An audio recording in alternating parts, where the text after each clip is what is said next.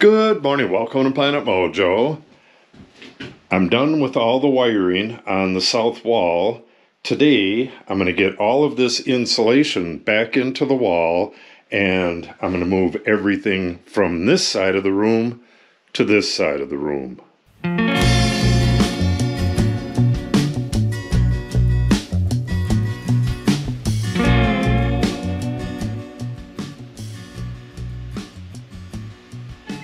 We have some fairly difficult insulating to do here. I guess we'll just figure them out as we go. What you don't want to do is leave air gaps. And if I was just going to push insulation into here, I'd have an air gap at the top and bottom of these cleats here. And you don't want to just push it in and leave a big air gap behind this wire. You want to slice the insulation so it goes around the wire. And in this case, you split the insulation and tuck it in behind and have the wire right in the middle of the insulation. And this bay, I believe, is narrower than a standard bay, so the insulation has to be cut the full length, which is not easy either. And as for the box, all of these boxes, I got these extra deep boxes by mistake and there's only a half inch of space behind them. So what I'm going to do is spray foam behind all these boxes right away and then I'll trim that. And then once I go to do the wiring, I'm going to put some foam on the inside as well. That should solve that problem. I'll just foam the inside, like half of it, and that'll give us some pretty decent insulation there. Okay, well, let's get going. We'll cut this narrower to start with and then worry about all this other stuff. Let me move some of this stuff out of the way and we'll get going.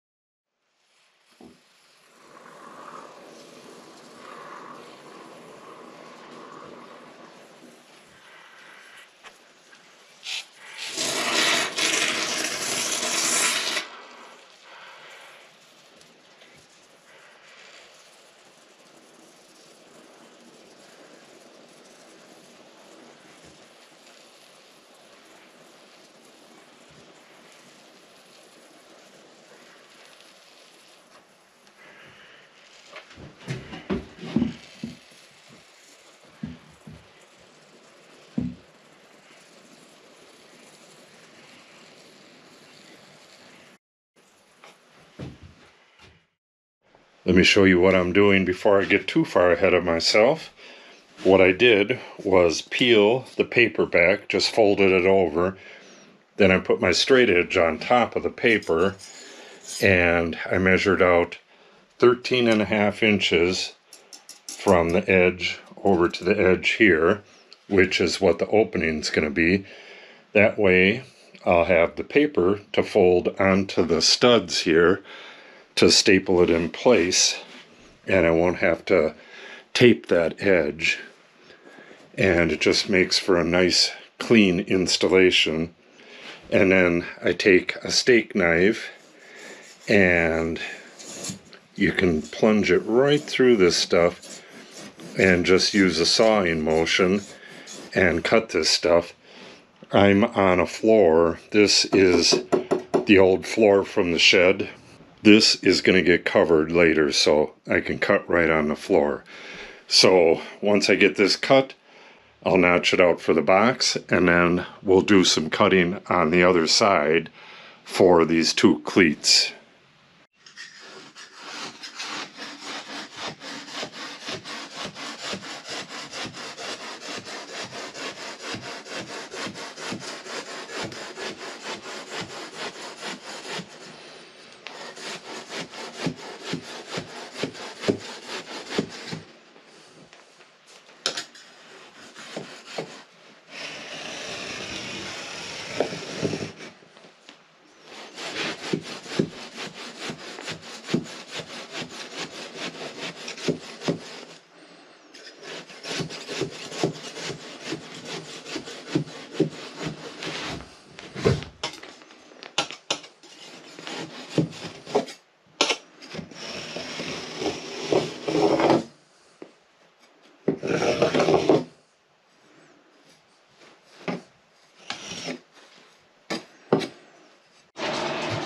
Alright.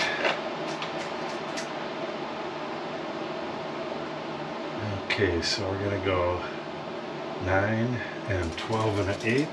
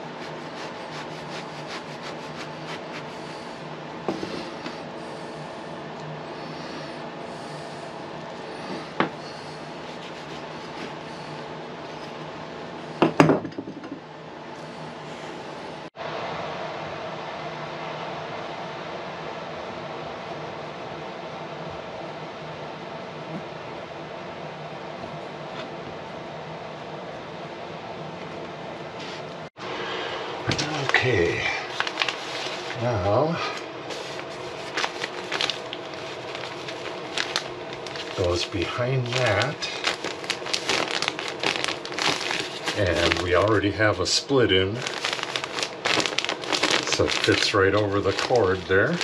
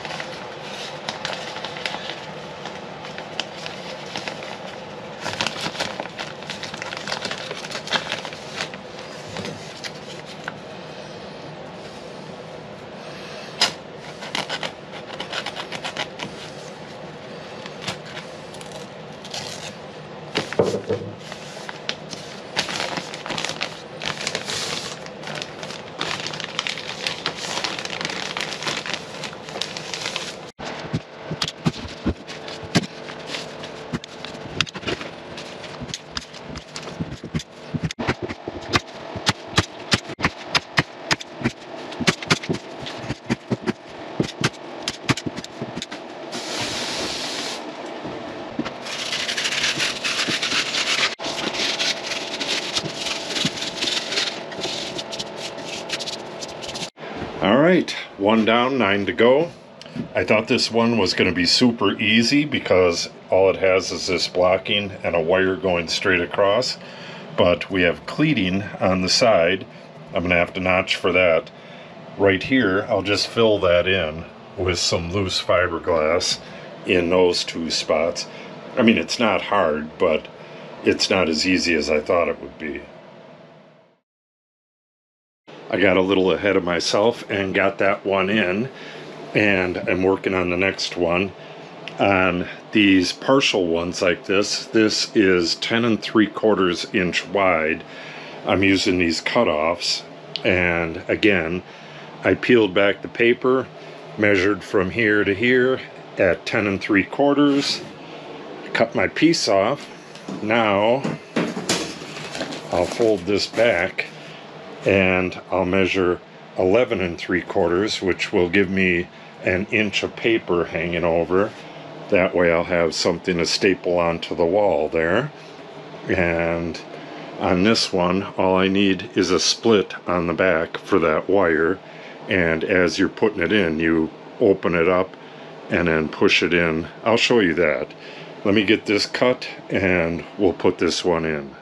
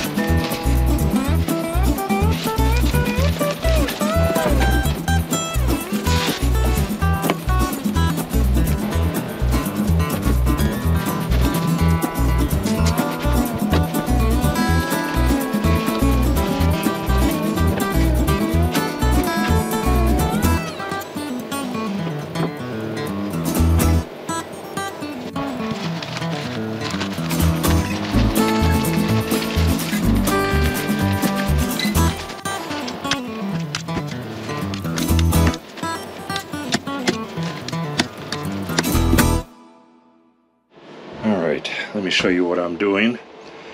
First, I measured for the box, that box right there, and then cut that piece out, which is this. Then I sliced down, but not all the way to the paper, and took out these bottom and top parts.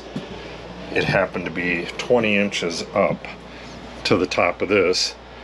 Then I just split this one in half and it goes around the wires nice and tight and then put this one into the bottom now I'm going to split this part all the way up to here just pull this apart and then tuck this back part behind the wire all the way down to the bottom and jiggle it around a little bit until it's in there tight and we'll have a super tight fit.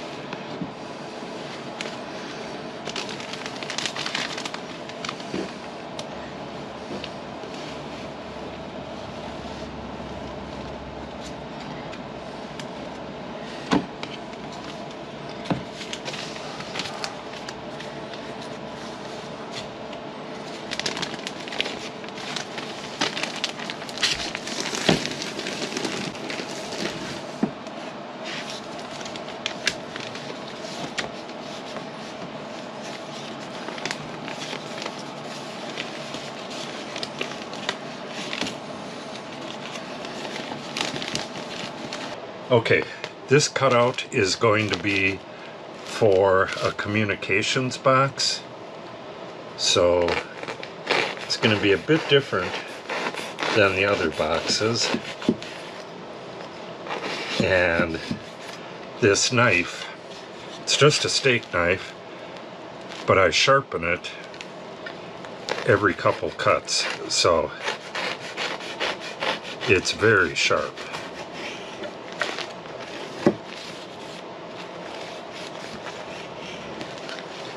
And on this one, I'll be using all of the pieces. I'm going to cut the back again, and all of the pieces are going back into it.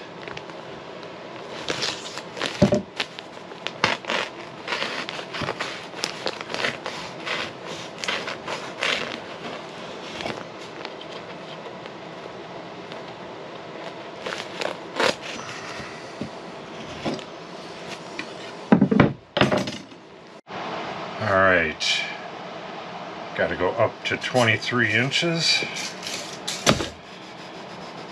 And I don't want to saw all the way down through there.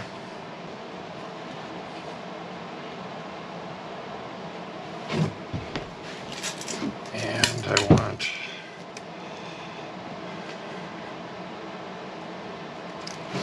about two and three eighths.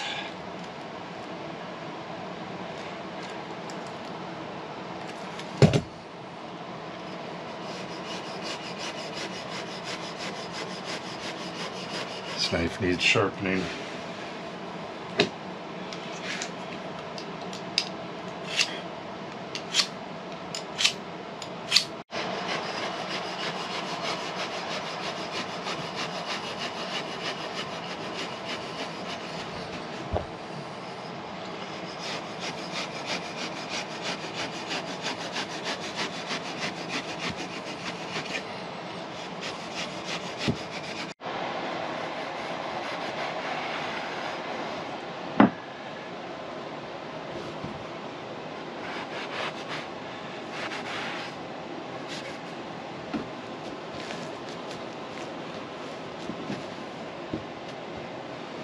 Alright, this one goes in the bottom.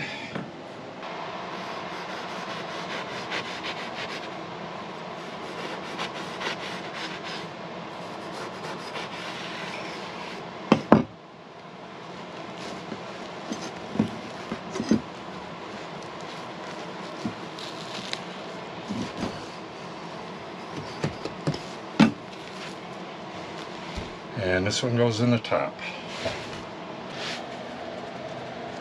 Now,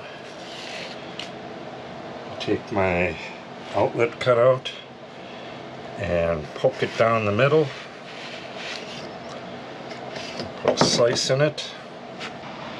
And then that goes in here. And the wire goes through that slice.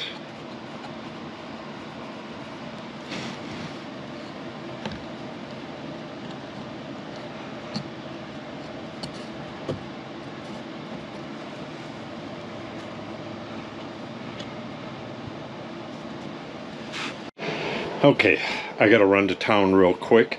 I have half of the batts that I plan on getting in today in, five out of ten. Like I said, I'm gonna wind up with this one here, It looks like this one right here is going to be the most interesting. It's going to be roughly the same as this one with the outlet, but on the top half, we got to go behind this cleating for the mini split and notch out for this cleat up here. So that one will be pretty interesting. This, I'm just going to cut square, so that's not going to be too difficult.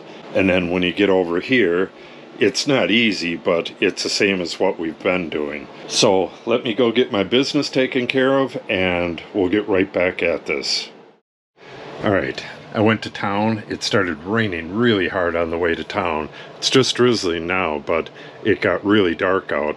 So when I got back in here, it was too dark for the camera, but I could see what I was doing. So I got another batt in, and then I went and got the light so you could see what's going on. All right, this next one, I'm going to use two pieces again because it's got stuff going on at the bottom and at the top. I could do it with one piece, but seeing how I got the two pieces, we'll do it that way. So we'll start with this bottom one, and what we're going to do is just like the other ones, I'm going to cut out for the box, and then I'm going to cut out a chunk above and below it. And what I'm going to do on this one is just split the batt for this one here and I'll tuck it behind down here. You'll see what I mean in just a minute. Okay, this is basically the same as the other ones right here. We got a cutout for the box and I took material out above and below the box and then down here for this wire I'm gonna split this and tuck it behind it and then for the communication wire I have a slit and I'm going to open that up like a mouth and then close it back down on it. Hopefully you'll be able to see that as I'm putting it in.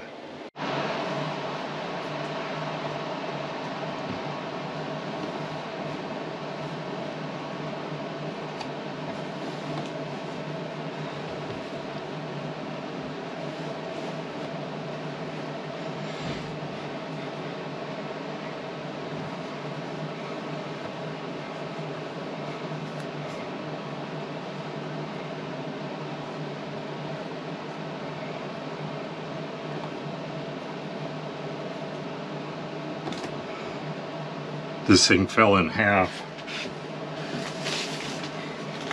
when I was lifting it up so just left it in half. Made it actually a little bit easier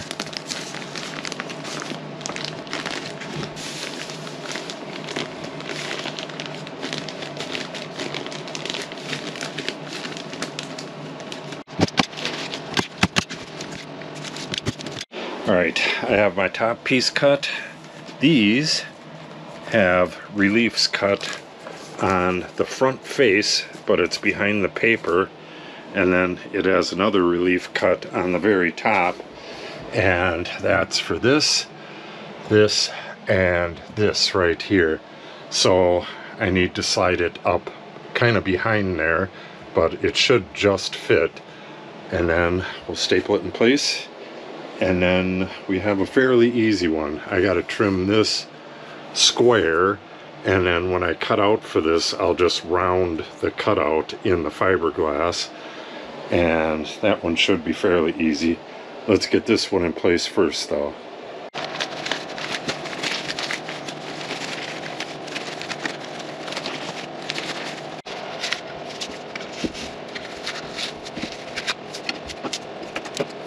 Okay, I got this one cut. We have a split for the electricity, one for the communications. We have a notch for the mini split pass through, and we have a notch for the cleat up at the top.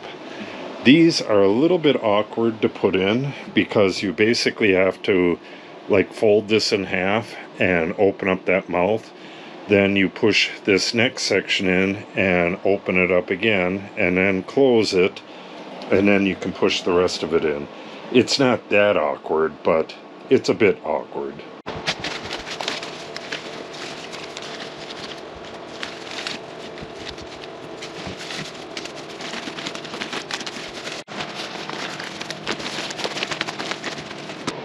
Not sure if you'll be able to see that or not, but it's raining pretty hard out there.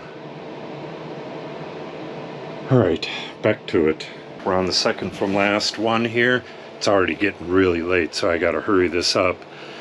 Same as the other ones. The box goes here. All this stuff was peeled out, and it's in there.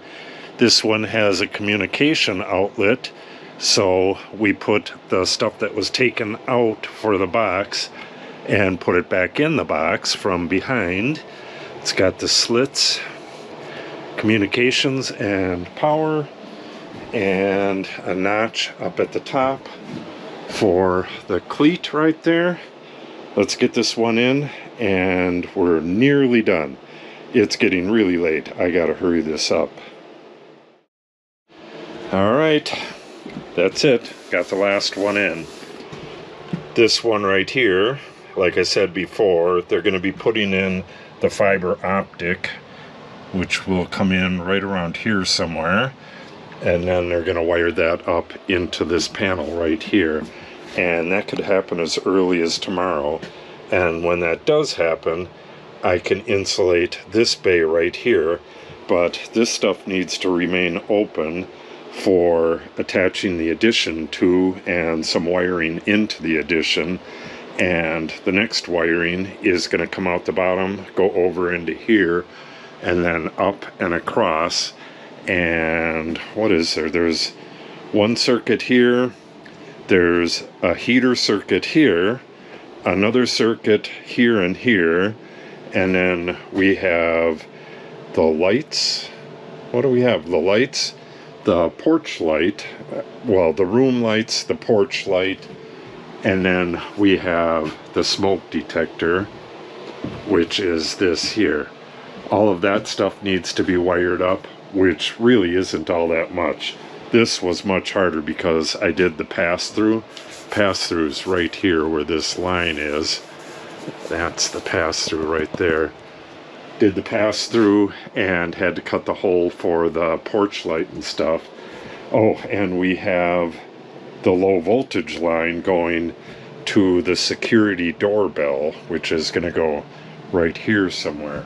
So I guess it is a fair amount of wiring. But a bigger task, I think, is getting rid of all this stuff. I'm going to pack up the vast majority of it.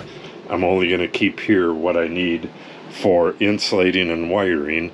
The rest is going to go on the gator and go over into the wood shop there just isn't any room in here. And I have a rolling cart. I'll put everything that's left on that rolling cart, take out all the shelves, and we'll have this place wired and insulated before you know it. Then we'll be doing drywall again. Oh, and we need to put the ceiling in as well.